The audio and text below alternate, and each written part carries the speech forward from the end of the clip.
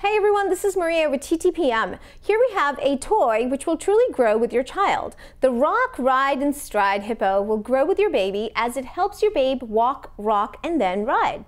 In the beginning stages, this toy is used as a walker to help baby walk and take those precious first steps. Next, it transforms into a scooter mode where the baby sits on and rides along, and finally, it's a ride-on toy. The ride-on mode does have a locking mechanism which can be turned off or on by the parent.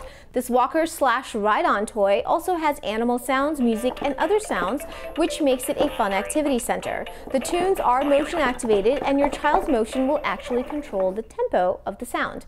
This is a fun toy which encourages cause and effect, balance, hand-eye coordination, and encourages gross motor skills.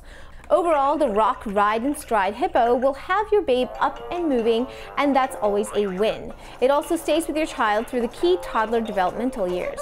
The Rock Ride and Stride Hippo requires two AA batteries, which are not included. It's for ages 9 months and above and made by Hasbro. For more information, you can find us at TTPM and make sure to subscribe to our YouTube channel for the latest in toys.